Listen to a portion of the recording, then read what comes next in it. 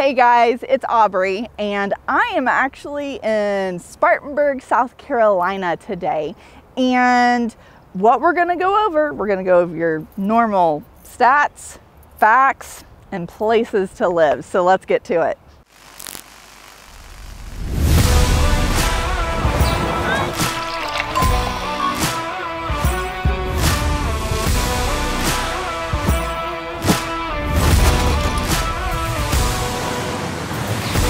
Guys, I'm Aubree. They have grown to separate locations to tell you the overall facts and facts of actually standing on the Swamp Rabbit Trail right now. So, wait a second, I'm falling.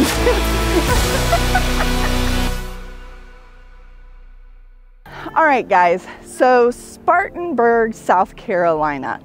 What do we need to know about Spartanburg? Honestly, it's been here for a long time. Uh, most importantly, and what I've researched a lot about, is there were several Revolutionary War battles around here that were very important in shaping our country. Um, most importantly, there was a battle out in Cowpens that was fought, and that kind of brought this area um, some more stability as time went on. Now, uh, Spartanburg has been known in the past as more of a hub city. Now, why is it a hub city? Uh, basically, all of these railways just came into Spartanburg, and there's a railroad museum here in Spartanburg. You want to check it out. And this area is very diverse in the people that are here. Uh, there's about 40,000 people that actually live in Spartanburg City, and then there's about 200,000 people that live in about in Spartanburg County. So we're just to the north of Greenville County and a little bit smaller, but the area is going through a renaissance. It's changing and it's super cool. It's something that I think when we're looking at these areas, you're gonna wanna make sure you pay attention to Spartanburg.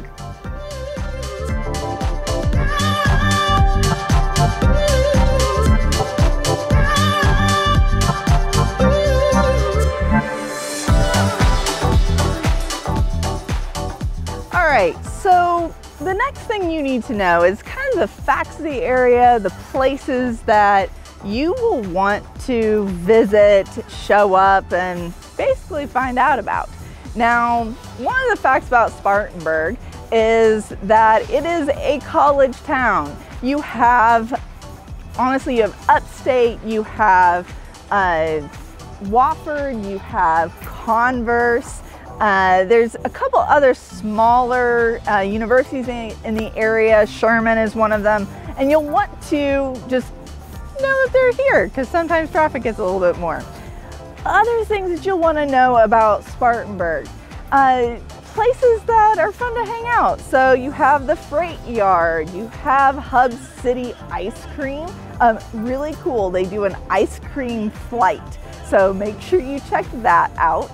Um, also around Spartanburg, there's a lot to know. Uh, as you drive into Spartanburg, you'll see the big Peach Water Tower come up in Gaffney. And then there's also a place called Hollywild. It's a great place to take the kids and or yourself if you just like animals. And it's a petting zoo that you stay in your car and you drive through. So super cool about that. Um, other places that you'll want to check out, definitely the small coffee shops and then um, this wall right behind me. Uh, so the Love Where You Live wall is definitely uh, something that a lot of people want to know about more of the artwork. They want to know more about the city. So that's just a few things about Spartanburg. Hope that helps.